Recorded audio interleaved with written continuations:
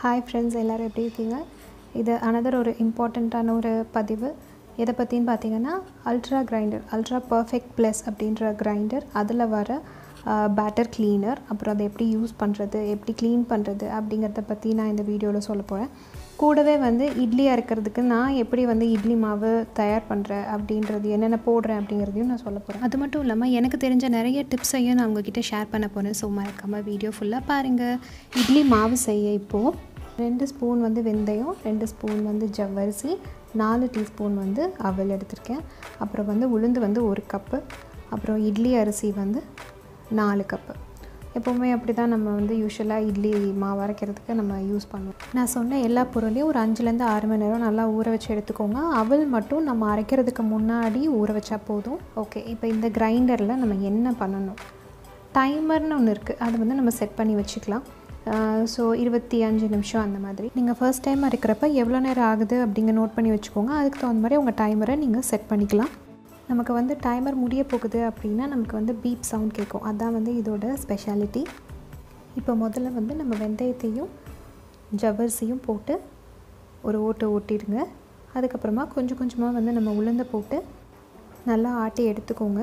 இதில் முக்கியமாக நம்ம என்ன பண்ணணும் அப்படின்னா அப்பப்போ நம்ம தண்ணி தெளித்து ஆட்டணும்.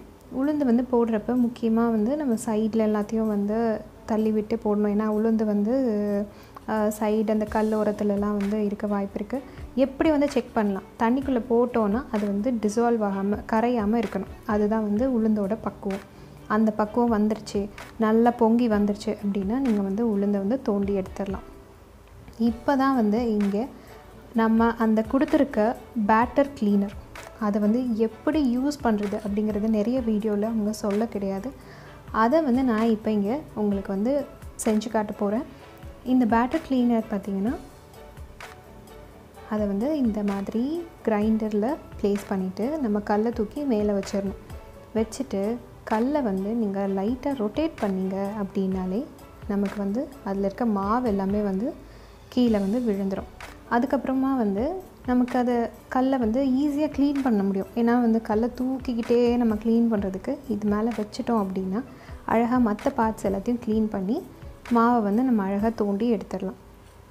இப்போ வந்து உளுந்து மாவு வந்து நமக்கு வந்து தோண்டி ரெடி ஆகிடுச்சு அடுத்து அதே கிரைண்டரில் நம்ம வந்து அரிசி மாவை அரைக்க போகிறோம் அரிசி மாவை அரைக்கிறதுக்கு முன்னாடி கல்லை வச்சு க்ளோஸ் பண்ணிவிட்டு கொஞ்சமாக தண்ணி ஊற்றி கல்லை வந்து ஓட விடுங்க. அதுக்கப்புறம் கொஞ்சம் கொஞ்சமாக அரிசி போடுங்க. அரிசி போட்டதுக்கப்புறமா நம்ம ஊற வச்சுருக்க அந்த அவல்லையும் வந்து அது கூட சேர்ந்து கொட்டிடுங்க. அப்புறம் மீதி இருக்க அரிசியையும் அதில் போட்டு நல்லா வந்து அரைக்க விடுங்க. அதே மாதிரி இதையும் வந்து சைட்லலாம் வந்து நம்ம எடுத்து விடணும். ஏன்னா அரிசி அங்கங்கே நம்ம போடுறப்போ ஒட்டிகிட்டு இருந்திருக்கோம். அதெல்லாம் வந்து சரியாயிடும். அரிசியோட பக்குவம் வந்து நமக்கு வந்து ரவை மாதிரி இருக்கணும். அதுதான் வந்து அரிசியோட பக்குவம். இப்போ இந்த பேட்டர் க்ளீனர் வந்து எப்படி யூஸ் பண்ணுறது அப்படின்னா இதை எப்படி வைக்கணும் அப்படின்னு பார்த்துக்கோங்க. அந்த பின்னில் வந்து கரெக்டாக இந்த மாதிரி அது வந்து ஃபிக்ஸ் ஆகணும். சரிங்களா? இப்போ வந்து நம்ம கல்லை எடுத்து அந்த பேட்டர் க்ளீனரை வந்து நான் முன்னாடி சொன்ன மாதிரி வச்சுட்டு அந்த கல்லை மேலே வச்சாச்சு. இப்போ அந்த கல்லை வந்து அழகாக வந்து ரொட்டேட் பண்ணிகிட்டே வாங்க. மாவுலாம் பாருங்கள் எவ்வளோ அழகாக கீழே வந்து வடிஞ்சிருச்சு நமக்கு. அதே மாதிரி சைடில் இருக்கிறது அடுத்த கல் அதே மாதிரி நம்ம வந்து அழகாக க்ளீன் பண்ணி வச்சுக்கலாம். அந்த பேட்டர் க்ளீனரையும் வந்து அழகாக நம்ம க்ளீன் பண்ணி எடுத்துக்கலாம். ரொம்ப ஈஸியாக இருக்குல்ல? இதை கல் க்ளீன் பண்ணி தூக்கிக்கிட்டு கஷ்டப்பட தேவையே இல்லை. இந்த மாதிரி தான் வந்து இந்த பேட்டர் க்ளீனர் யூஸ் பண்ணணும். இப்போ நமக்கு அரிசி மாவை அப்படியே நம்ம ஊற்றிடலாம் பாத்திரத்தில். உளுந்து நம்ம தோண்டி வச்சுருந்தோம் இல்லையா? அதே அது கூடயே வந்து அரிசி மாவையும் நம்ம போட்டாச்சு. நல்லா க்ளீன் பண்ணி எல்லா மாவையும் வந்து உள்ளே வந்து கொட்டிடுங்க. அவ்வளோதான் எல்லா மாவும் இல்லை. நம்ம சேர்த்தாச்சு. நீட்டாக க்ளீன் பண்ணியாச்சு. இப்போ இது என்ன பண்ணணும்? கல்லை உள்ளே வச்சு மூடிடுங்க கொஞ்சமாக தண்ணி ஊற்றிக்கோங்க தண்ணி ஊற்றிட்டு ஒரு ஒரு ஓட்டு ஓட்டுங்க. ஓட்டினீங்க அப்படின்னா அதில் இருக்க கொஞ்சம் மாவெல்லாம் வந்து கரைஞ்சி அந்த தண்ணியில் வந்து நமக்கு கிடைக்கும். அந்த தண்ணியை வந்து நம்ம தோசை ஊற்றுறப்ப அந்த தண்ணி கொஞ்சம் ஆட் பண்ணி தோசை மாவு நம்ம தயார் பண்ணிக்கலாம். எப்படி க்ளீன் பண்ணணும்? ப்ரஷ் வச்சு ஓட விட்டுட்டு இந்த மாதிரி க்ளீன் பண்ணலாம். அதுக்கப்புறம் வந்து நம்ம சிங்க்கில் க்ளீன் பண்ணுறப்ப ப்ரஷ் யூஸ் பண்ணி க்ளீன் பண்ணிங்கன்னா அந்த வடும்பில் இருக்கிற மாவெல்லாம் வந்து ஈஸியாக வந்து நமக்கு க்ளீன் ஆகிடும் ஸோ இதுக்குன்னு தனியாக ஒரு ப்ரஷ் வச்சுக்கோங்க. அதுக்கப்புறமா வந்து இந்த மாதிரி ஒரு கிளாத்தில் வந்து இது வந்து வாட்டர் அப்சார்ப் பண்ணுற ஒரு கிளாத் அதனால வந்து இதை வச்சு நல்லா தொடச்சிருங்க. கிரைண்டர் ஃபுல்லாக நம்ம வந்து எல்லாத்தையும் க்ளீன் பண்ணி எடுத்து வச்சுக்கோங்க. அதுக்கப்புறமா வந்து இந்த ப்ரஷ் யூஸ் பண்ணி அந்த மூடுறோம் இல்லையா அந்த இடத்துல வந்து நிறைய மாவு வந்து நமக்கு சேர்ந்துருக்கும். ஸோ அது வந்து நம்ம கையில் வச்சு தொடச்சோம் அப்படின்னா அது அந்தளவுக்கு க்ளீனாக இருக்காது. ஸோ வந்து அதுக்கும் வந்து ப்ரஷ் வச்சு அந்த இடத்தையெல்லாம் வந்து க்ளீன் பண்ணிடுங்க. ஏன்னா இது இதெல்லாம் எதுக்கு பண்ணோம் அப்படின்னா வந்து ஃபங்கஸ் வந்து ஈஸியாக வந்து நமக்கு அந்த இடத்துலலாம் உட்கார ஆரம்பிக்கும். ஸோ அதனால் இந்த மாதிரி நம்ம ஒரு ஒரு தடவையும் மாவாட்டுறப்ப இந்த மாதிரி நம்ம க்ளீன் பண்ணி வச்சுக்கிட்டோம் அப்படின்னா கிரைண்டரும் வந்து நீட்டாக இருக்கும். அதே சமயம் நம்மளும் வந்து ஹைஜீனிக்காக மாவு வந்து அரைக்கலாம். ஸோ இந்த மாதிரி நல்லா க்ளீன் பண்ணிவிட்டு அப்புறம் இந்த கிளாத் வச்சு எல்லாத்தையும் நீட்டாக தொடச்சி எடுத்துருங்க. ரொம்ப ஈஸி தாங்க. நம்ம பண்ண பண்ண நமக்கு அதுவே வந்து ஒரு பழக்கமாக மாறிடும். ஸோ நம்ம கிரைண்டரையும் வந்து நம்ம நீட்டாக வச்சுக்கலாம். பாருங்கள் எவ்வளோ சூப்பர் நீட் ஆகிடுச்சு இப்போது என்ன பண்ணணுன்னா நம்ம வாஷ் பண்ணி வச்சுருந்த அந்த பின் வந்து எடுத்து அந்த கிரைண்டர் இதில் வச்சுருங்க. வச்சுட்டு சைட்லலாம் பார்த்திங்க அப்படின்னா அந்த தண்ணியோட ட்ராப்ஸ் எல்லாம் அப்படியே வந்து காஞ்சு போய் ஒரு மாதிரி டாட் டாட்டாக வந்து நமக்கு வந்து இருக்கும்.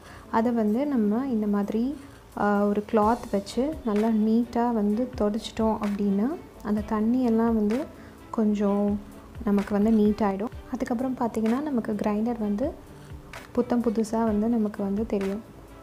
நீட்டாக வந்து சைடெல்லாம் க்ளீன் பண்ணிவிடுங்க ஒரு ட்ரை கிளாத் வச்சு க்ளீன் பண்ணுறது வந்து நல்லது. ஒரு ரெண்டு கிளாத் அந்த மாதிரி யூஸ் பண்ணலாம். ஃபஸ்ட்டு நான் யூஸ் பண்ணது வந்து வாட்டர் அப்சார்பிங் க்ளா ஒரு கிளாத்து அதுக்கப்புறம் நான் ட்ரை கிளாத் வச்சு எல்லாம் க்ளீன் பண்ணிட்டேன். அவ்வளோதான் எப்போவுமே வந்து பின்னை வந்து இந்த மாதிரியே வைங்க அப்போ தான் வந்து உள்ளே இருக்க ஈரம் எல்லாம் வந்து நமக்கு காயும். கம்பெனியும் வந்து இப்படி தான் வைக்கணும். தலைகீழாக கமுத்தி வைக்கக்கூடாது அப்படின்னு ரெக்கமெண்ட் பண்ணுறாங்க ஸோ கல் கல் வந்து இப்போ அடியிலலாம் காஞ்சிருச்சு. இப்போ இந்த இடம் மட்டும் காயாமல் அப்படியே இருக்குது ஸோ அதையும் வந்து அப்படியே தனியாக வச்சுருங்க. கல்லும் வந்து அந்த பின்னும் காயறதுக்கு கொஞ்ச நேரத்தில் காஞ்சிரும். அதுக்கப்புறமா எடுத்து நம்ம உள்ளே வச்சு நார்மலாக வந்து நம்ம ஸ்டீல் பண்ணிக்கலாம். இப்போ நம்ம மாவுக்கு வந்து என்ன பண்ணணும்? அரிசி மாவு உளுந்த மாவு ரெண்டுமே இருக்குது அதை வந்து இப்படி நல்லா நம்ம கையை விட்டு நல்லா வந்து கலந்துக்கோங்க. கொஞ்சமாக வந்து உப்பு போட்டுக்கோங்க. இல்லை உப்பு போடாமையும் வந்து நீங்கள் இட்லி இல்லை தோசை ஊற்றுறப்ப கூட நம்ம இட் உப்பு போட்டு கரைச்சி வச்சுக்கலாம். இந்த மாதிரி நல்லா வந்து நம்ம அதை கரை கரைக்கணும். கை விட்டு கரைங்க. அப்போ தான் வந்து நமக்கு வந்து எல்லா அரிசி மாவும் சரி உளுந்த மாவும் சரி நல்லா வந்து நமக்கு கலந்து வரும். நல்லா வந்து பொங்கியும் நமக்கு வந்து வரும். புளிச்சு நல்லா வரும். அப்போ தான் வந்து இட்லி நமக்கு வந்து நல்லா கிடைக்கும். இட்லி மாவு அரைக்கிறதுல வந்து நிறைய வந்து விதம் இருக்குங்க. இங்கே வந்து நான் ஏன் வந்து ஜவ்வரிசி அவல் எல்லாமே போட்டிருக்கேன் அப்படின்னா இங்கே நான் இருக்க இடத்துல கிடைக்கிற இட்லி அரிசி வந்து கொஞ்சம் வித்தியாசமாக இருக்கும். அதில் வந்து நீங்கள் அவல் ஜவ்வரிசி போட்டிங்க அப்படின்னா தான் இட்லி எனக்கு நல்லா வரும். இப்போ நல்லா கலந்தாச்சு. ஓரத்தில் இருக்க மாவு எல்லாத்தையும் நல்லா க்ளீன் பண்ணி எடுத்துடுங்க. இப்போது இதை வந்து ஒரு மூடி போட்டு ஒரு ஆறுலேருந்து ஏழு மணி நேரம் வரைக்கும் அப்படியே விட்டுருங்க. இது நல்லா வந்து மேலே புளிச்சு வரும். உங்களுக்கு வேணும்னா இது ரெண்டு பாத்திரத்தில் நீங்கள் மாற்றி கூட வச்சுக்கலாம். ஆனால் வந்து கண்டிப்பாக ஏழு மணி நேரம் கிட்ட வரைக்கும் நீங்கள் அதை விடணும். அப்போ தான் வந்து நல்லா மாவு புளிச்சு வரும். அடியில் நீங்கள் ஒரு தட்டு கூட வச்சுக்கலாம். ஏன்னா மாவு புளிச்சு வந்தால் அதில் பொங்கி வந்துடும் நான் ஆனால் இதில் வைக்கல. அவ்வளோதாங்க நமக்கு மாவு ரெடி ஆகிடுச்சு கிரைண்டரையும் நம்ம நீட்டாக க்ளீன் பண்ணி வச்சாச்சு. இப்போ மாவு வந்து ஒரு ஆறுலேருந்து ஏழு மணி நேரம் கழித்து பாருங்கள் நல்லா பொங்கி வந்திருக்கு மாவு. இப்போது இந்த மாவை வந்து அப்படியே நம்ம வந்து தனியாக எடுத்து வச்சு மேலே பொங்கி வந்திருக்கு இல்லையா? அந்த மாவை வந்து அப்படியே நீங்கள் கலக்க தேவையில்லை. இது வந்து என்னோடய ஃப்ரெண்ட் ஒருத்தவங்க சொன்ன ஒரு ஐடியா கலக்காமல் இந்த மாவை வந்து எடுத்து வச்சுக்கணும். எடுத்து வச்சுட்டு நம்ம ஏற்கனவே வந்து நான் வந்து ஏற்கனவே உப்பு போட்டு நல்லா கலந்துருக்கேன். ஸோ அதனால் இது அப்படியே மேலே இருக்க மாவை அப்படியே எடுத்து இதை அப்படியே வந்து நம்ம இட்லி ஊற்ற போகிறோம் பாருங்கள் ஒரு ஒரு குழிலையும் எண்ணெய் தடவிட்டு இந்த மாதிரி அந்த மாவை எடுத்து ஊற்றிடுங்க ஊற்றிட்டு இட்லி பாத்திரத்தில் வச்சுட்டு ஒரு பத்து நிமிஷம் நல்லா அதை வந்து வேக விடுங்க. பத்து நிமிஷத்துக்கு முன்னாடியே இட்லி வந்து வெந்துடும் ஸோ அதை நல்லா கவனிச்சுக்கோங்க. ஏன்னா ரொம்ப நீங்கள் வேக விட்டிங்கனாலும் இட்லி வந்து நமக்கு வந்து ஹார்டாக கிடைக்கும். ரொம்ப கெட்டி ஆகிடும் ஸோ அதனால் எனக்கு வந்து எட்டு நிமிஷத்துலேயே இட்லி வந்து தயாராகிடுச்சு ஸோ பாருங்கள் நல்ல மெது மெதுன்னு இருக்குது இட்லி. இப்போ இந்த இட்லியை வந்து எப்படி எடுக்கிறது? இதை வந்து ஒரு அஞ்சு நிமிஷம் கழித்து இந்த மாதிரி ஒரு டம்ளரில் தண்ணி வச்சுக்கோங்க. அதில் வந்து இந்த ஸ்பூனை வந்து இட்லி எடுக்கிற அந்த கரண்டியை வந்து அந்த தண்ணியில் வந்து நனைச்சிக்கோங்க. நினச்சிக்கிட்டு இப்படி இந்த ஓரத்தை எல்லாத்தையும் வந்து நீங்கள் எடுத்துட்டு எடுத்து விட்டுட்டு அதுக்கப்புறமா நீங்கள் இட்லி எடுத்தீங்க அப்படின்னா தட்டில் வந்து ஒட்டாமல் நமக்கு வந்து இட்லி கிடைக்கும். சரிங்களா? ஒரு ஒரு தடவை நீங்கள் இட்லி வந்து எடுக்கிறப்பவும் தண்ணியில் வந்து நினச்சிக்கோங்க. நினச்சிக்கிட்டு அதுக்கப்புறமா வந்து இட்லியை வந்து நீங்கள் எடுத்தீங்க அப்படின்னா நமக்கு வந்து இட்லி தட்டில் நமக்கு ஒட்டாமல் இட்லி வந்து நமக்கு கிடைக்கும். அவ்வளோதாங்க நமக்கு சாஃப்டான இட்லி வந்து ரெடி ஆகிடுச்சு நான் எப்போவுமே வந்து இட்லி மாவை நல்லா மிக்ஸ் பண்ணிவிட்டு அப்படி தான் வந்து நான் இட்லி ஊற்றுவேன் பட் இது வந்து என் ஃப்ரெண்ட் ஒருத்தவங்க சொன்ன ஒரு மெத்தட் இந்த மெத்தட் நான் ட்ரை பண்ணி பார்க்கலாமேன்னு பார்த்தேன். பட் இது வந்து உண்மையிலே நல்லா ஒர்க் அவுட் ஆச்சு எனக்கு.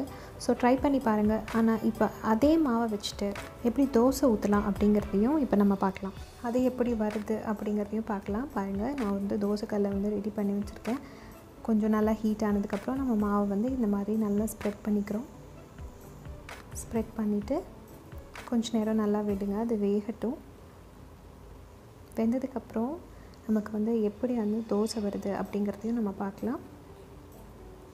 பாருங்கள் ரொம்ப சாஃப்ட் அண்ட் ரொம்ப கிறிஸ்பியாக இருக்குங்க தோசை. நீங்கள் உண்மையிலே வந்து ட்ரை பண்ணி பாருங்கள் உங்களுக்கு வந்து இட்லி வந்து ஒழுங்காக வரல தோசை ஒழுங்காக வரல அப்படின்னா நான் சொன்ன வந்து மெத்தட் வந்து ட்ரை பண்ணி பாருங்கள் உண்மையிலே ரொம்ப சாஃப்டான இட்லியும் நல்ல கிறிஸ்பியான தோசையும் நமக்கு கிடைக்கும்.